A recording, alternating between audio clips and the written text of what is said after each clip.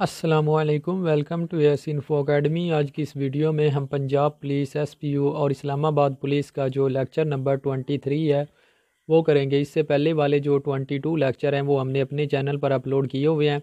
अगर किसी ने वो लेक्चर नहीं देखे तो हमारे चैनल पर जाकर वो लेक्चर भी देख सकता है। और जो हमारे चैनल पर न्यू है, वो हमारे चैनल को ज़रूर सब्सक्राइब कर दे, क्योंकि हमने इन इस चैनल पर जो है, वो पंजाब पुलिस एस और इस्लामाबाद पुलिस के रिटर्न टेस्ट की कंप्लीट प्रिपरेशन करवानी है तो आप हमारे चैनल को ज़रूर सब्सक्राइब कर दें। इसके बाद ये हमारा व्हाट्सएप पर एक ग्रुप है, अगर किसी ने उस ग्रुप में ऐड होना हो तो हमारे चैनल को सब्सक्राइब करके उसका स्क्रीनशॉट लेकर हमारे इस नंबर पर सेंड कर दे तो हम उसको जो है वो अपने व्हाट्सएप वाले ग्रुप में भी ऐड कर लेंगे। तो वीडियो को स्टार्ट करते हैं। जैसा कि आपको पता है, हमने जो है वो मोस्ट इंपॉर्टेंट और रिपीटेड एम की जो है वो सीरीज़ शुरू की हुई है, जिसमें हमने जो है वो पाकिस्तान स्टडी, उसके बाद इस्लामी, इस्लामियात और जो जर्नल नॉलेज और एवरीडे साइंस के जो हंड्रेड हंड्रेड मोस्ट इंपॉर्टेंट और रिपीटेड एम थे, वो कर लिए हैं। और आज जो हम, कंप्यूटर के जो मोस्ट इंपॉर्टेंट और रिपीटेड एम हैं, वो करेंगे। तो ये जो मैं आपको एम करवाता हूँ, ये पिछले पेपरों में जो है, वो बार बार रिपीट होते रहे हैं। तो इस बार भी इनके जो आने के चांस है वो 90 परसेंट है। तो उम्मीद है कि इन्हीं में से जो आपके एम सी क्यूज़ आएँगे, इन्हीं में से ही आएँगे। तो आप इन्हें जो है वो अच्छे तरीके से तैयार कर लें। तो वीडियो स्टार्ट करते हैं। आज का जो हमारा पहला एम सी क्यूज़ है वो है which effect we see has the slide of a PowerPoint change over तो ये जो कह रहा है कि वो कौन सा ऐसा इफ़ेक्ट लगाते हैं जिससे जो स्लाइड चेंज होती है और वो आगे सामने जो है वो आता है। जैसा कि ये हमारा इफ़ेक्ट आया, ये जो ये जो आगे से खुल रहा है गेट की तरह, ये कौन सा जो है वो इफ़ेक्ट लगाएँ तो आता है। तो ये जो है, ये ट्रांजिशन का इफ़ेक्ट है, ये ट्रांजिशन के ज़रिए जो है वो आगे आया है। तो इसका जो राइट आंसर है वो ट्रांजिशन है। आगे चलते हैं। A computer program that translate one program instruction at a time into machine language. तो वो कौन सा ऐसा कंप्यूटर का जो है वो ट्रांसलेटर है जो कि एक एक टाइम में जो है वो एक ही प्रोग्राम को जो है और एक ही इंस्ट्रक्शन को जो है वो मशीन लैंग्वेज में कन्वर्ट करता है तो वो इंटरप्रिएटर है। ये जो है, ये एक ही टाइम में एक पैराग्राफ को जो है वो मशीन लैंग्वेज में कन्वर्ट करता है। तो ये जिन्होंने कंप्यूटर पढ़ा है मैट्रिक में उनको तो इन सब का पता होगा, और जिन्होंने नहीं पढ़ा, वो भी अब इसी तैयार कर लें अच्छे तरीके से, क्योंकि इसके भी जो हैं वो एम पेपर में आने हैं। वो was the founder of C program language तो ये जो सी लैंग्वेज आपने सुनी होगी सी प्लस प्लस और सी लैंग्वेज इसका जो है वो फाउंडर कौन है? तो वो डिनिस रिच जो है, ये इसका फाउंडर है। इसने जो है वो सी लैंग्वेज फाउंड की थी। ये भी इसका नाम भी याद कर लें। ये भी पेपरों में पूछा जाता है। आगे चलते हैं। An email account includes a storage area often called तो ईमेल जो आ, हमारा होता है अकाउंट होता है उसमें जो स्टोरेज एरिया के तौर पर इस्तेमाल होता है चीज़ों को स्टोर करने के लिए जो एरिया इस्तेमाल होता है वो मेल बॉक्स होता है। मेल बॉक्स में आपके जो हैं वो सारे ईमेल्स और मेल्स जो हैं वो स्टोर होते हैं। आगे चलते हैं। You can edit existing Excel data by pressing the, यानी कि अगर आप किसी भी सेल में जो है वो डाटा को जो है वो एडिट करना चाहते हैं तो आप कौन सी जो है वो शॉर्टकट की से जो है वो डाटा एडिट कर सकते हैं? तो F2 जो अगर आप प्रेस करेंगे, ये F2 जो है ये फ़ंक्शन की है। ये आप प्रेस करके जो है वो सेल में से जो है वो डाटा जो है वो एडिट कर सकते हैं चेंज कर सकते हैं। The process of removing errors in program is called तो प्रोग्राम में से जो एरर मूव करते हैं, उस अमल को क्या कहते हैं? तो उसको डीबगिंग कहते हैं। और जो प्रोग्राम में एरर होते हैं, उनको बग कहते हैं। ये भी सवाल पूछा जाता है कि जो प्रोग्राम में एरर मौजूद होते हैं, उनको क्या कहते हैं? तो उनको बग कहते हैं। और अगर ये पूछा जाए कि उनको जो रिमूव करने का अमल होते हैं, होता है, उसे क्या कहते हैं? तो उसे डी बगिंग कहते हैं। मैंने एक इंटरव्यू दिया था मिनिस्ट्री ऑफ़ डिफेंस का, उसमें मुझसे ये क्वेश्चन पूछा गया था कि प्रोग्राम में जो एरर मौजूद होते हैं, उनको क्या कहते हैं? तो उनको बग कहते हैं। आगे चलते हैं। Which version of the Microsoft Excel is not valid तो जो ऑफ़िस एक्स पी है, ये जो है, ये माइक्रोसॉफ्ट ऑफ़िस का जो है, वो वर्जन नहीं है। तो ये इसका जो है, वो राइट right आंसर है। आगे चलते हैं minimum and maximum font size in M S Excel तो आपने देखा होगा, जो एक्सेल इस्तेमाल करते हैं, उन्होंने देखा होगा एम एस वर्ड और एक्सेल जो है, और पावर पॉइंट में ये पावर पॉइंट में मुख्तलिफ़ होता है, लेकिन एम एस वर्ड और एम एस ऑफ़िस में जो वर्ड और एक्सेल में जो है, ये सेम ही होता है। आठ से लेकर जो है, वो सेवेंटी टू जो है, ये डिफ़ॉल्ट साइज़ होता है। इससे आप ज़्यादा भी कर सकते हैं, और इससे जो है, वो कम भी कर सकते हैं। ये जब आप वो क्लिक करते हैं तो ये ड्रॉप डाउन जो लिस्ट होती है, उसमें ये जो इनसे है, वो मौजूद होते हैं।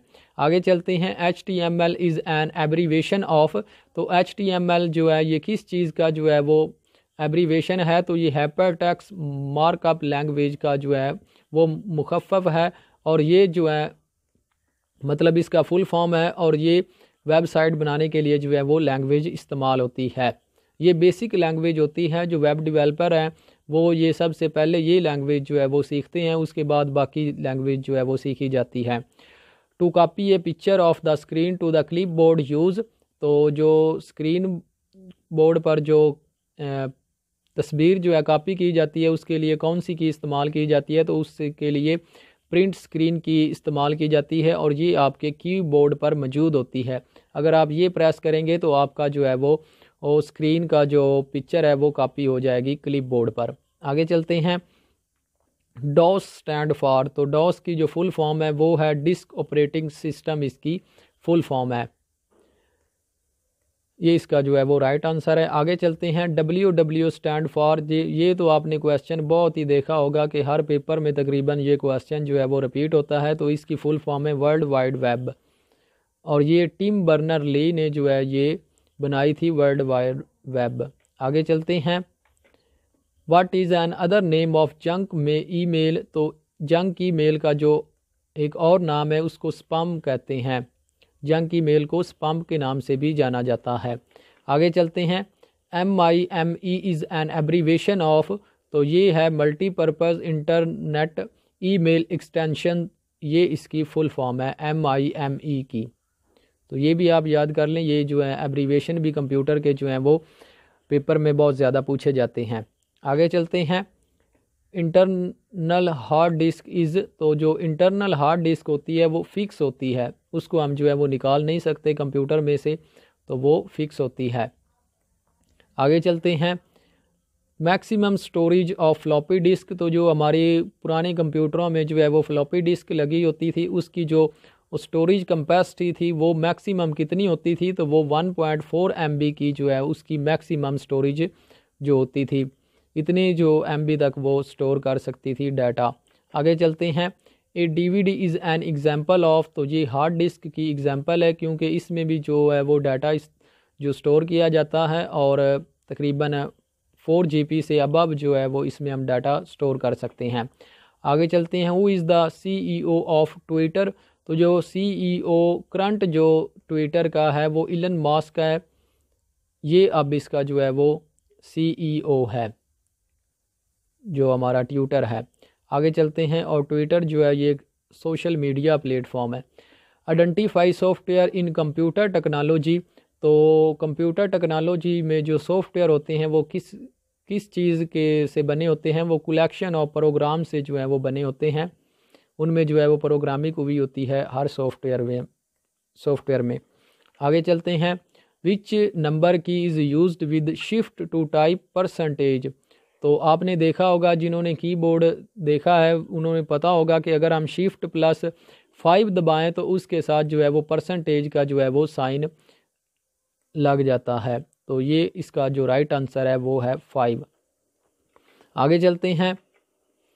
The default page size of Word document is also used in Office तो ए फोर जो है, ये बाय डिफ़ॉल्ट यूज़ होता है एम एस वर्ड में, जो मुख्तलिफ़ ऑफ़िस वगैरह में यूज़ करते हैं तो ए फ़ोर इसका राइट आंसर है। You can detect spelling and grammar errors by तो एफ़ सेवन अगर आप प्रेस करेंगे एफ़ सेवन जो है, ये भी एक फ़ंक्शन की है तो ये आप प्रेस करेंगे तो जो आपकी ग्रामर और स्पेलिंग की मिस्टेक हैं, वो डिटेक्ट हो जाएँगी। आगे चलते हैं। पोर्ट्रेट एंड लैंडस्केप आर तो ये दोनों जो हैं, ये पेज ओरिएंटेशन हैं।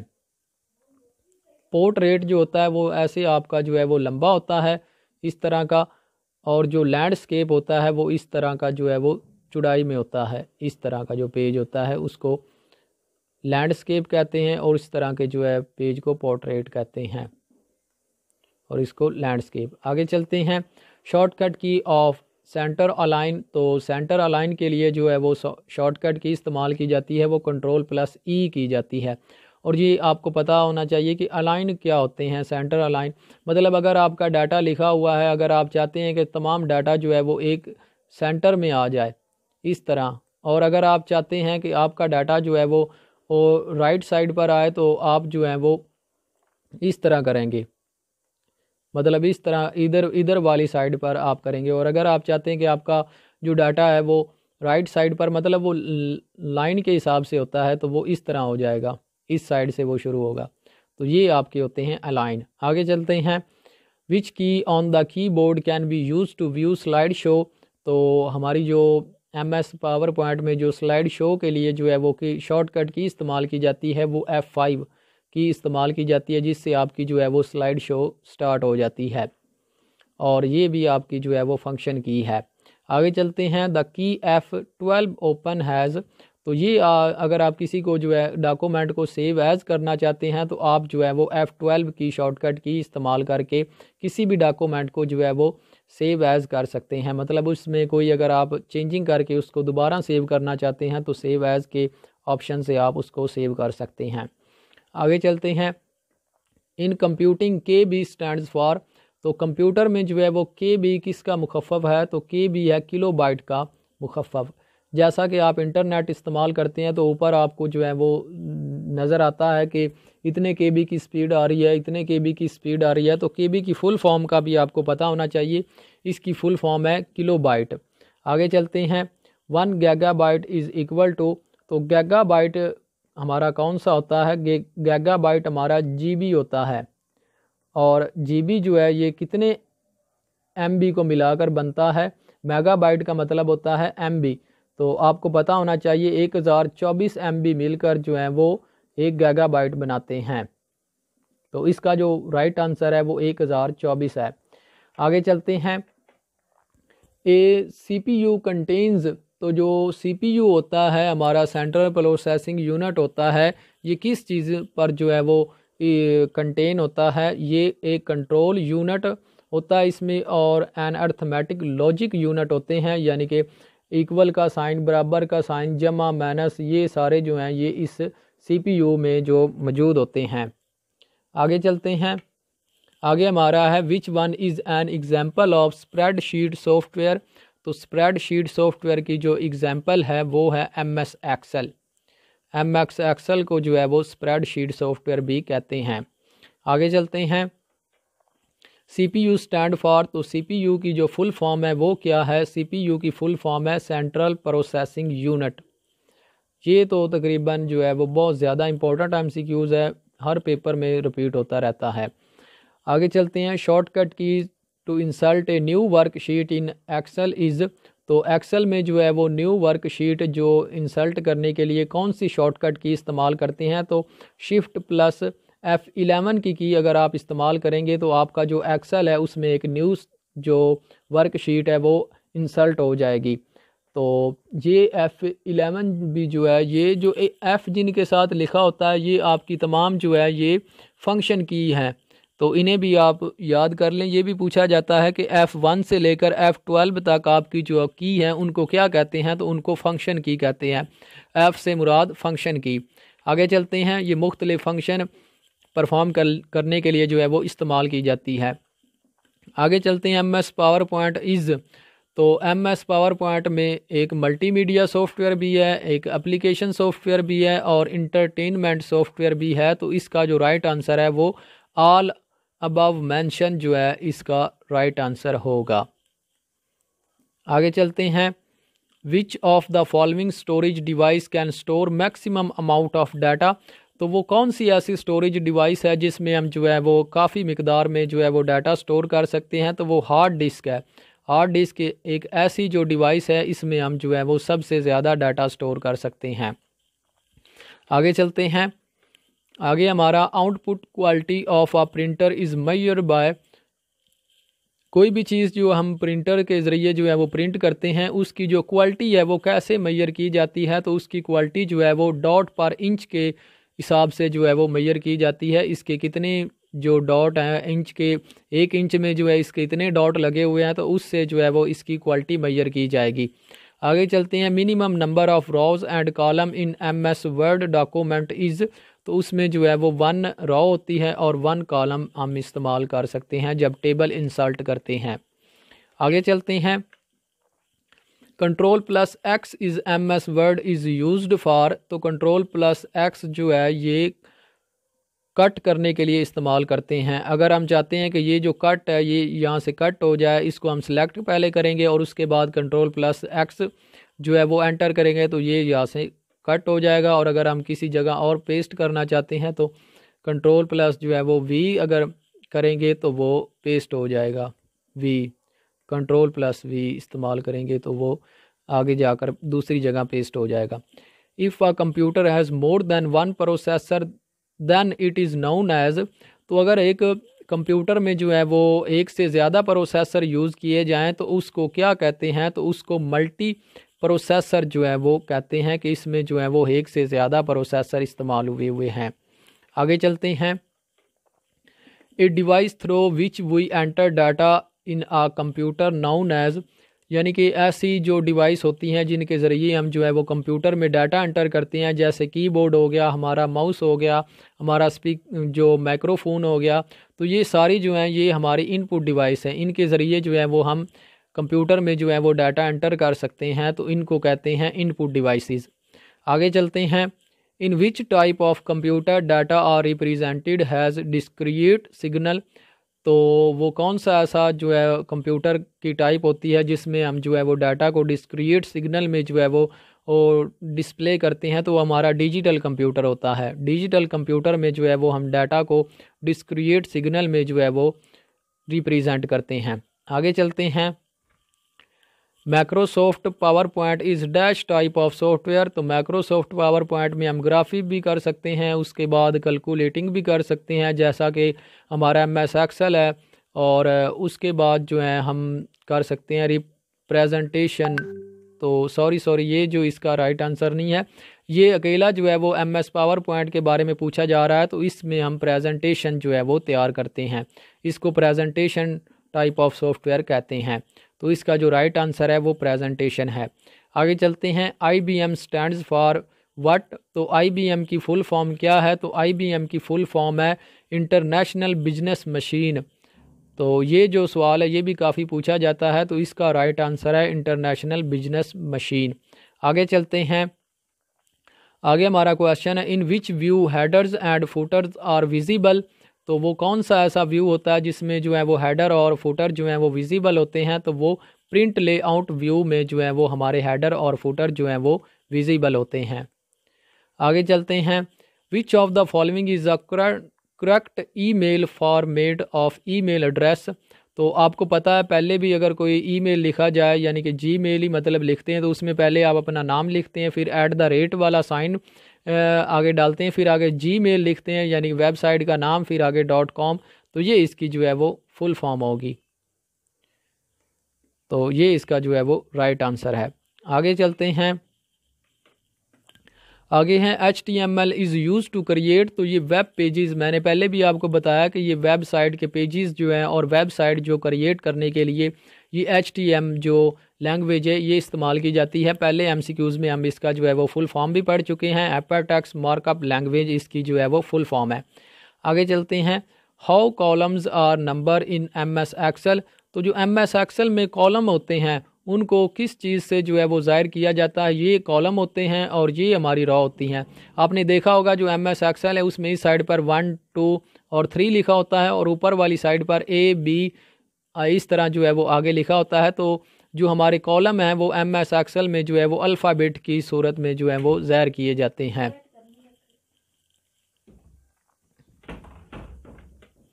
आगे चलते हैं। एक्सटेंशन ऑफ़ वर्ड डॉक्यूमेंट तो वर्ड डॉक्यूमेंट की जो एक्सटेंशन है, वो कौन सी होती है? तो वो dot, docx D O C X जो है, ये एम एस जो वर्ड है, इसकी फुल फॉर्म है। तो ये इसकी फुल फॉर्म है। आगे चलते हैं। To move the cursor to the end of the document which shortcut key is used तो किसी भी डॉक्यूमेंट के एंड पर जाने के लिए जो शॉर्टकट की इस्तेमाल करते हैं, उसे क्या कहते हैं? तो उसे कंट्रोल प्लस जो एंड है, ये अगर हम शॉर्टकट की इस्तेमाल करेंगे तो जो हमारे कर्सल है, वो डॉक्यूमेंट के एंड पर चला जाएगा। तो आगे चलते हैं। आगे जो हमारा क्वेश्चन है which shortcut key insert a new slide in current presentation तो जो हमारी एम एस पावर पॉइंट में जो न्यू स्लाइड जो एंटर करने के लिए कौन सी शॉर्टकट की इस्तेमाल करते हैं तो कंट्रोल प्लस एम जो है, ये शॉर्टकट की इस्तेमाल की जाती है कोई भी न्यू स्लाइड जो है वो करंट प्रेजेंटेशन में एंटर करने के लिए।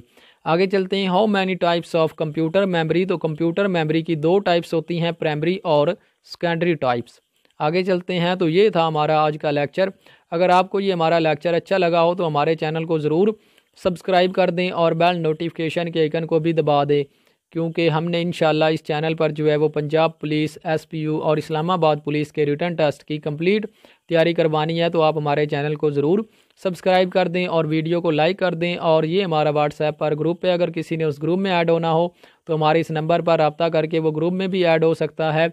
तो मिलते हैं इन नेक्स्ट वीडियो में, जब तक अपना बहुत ज़्यादा ख्याल रखिए, अल्लाह हाफिज़।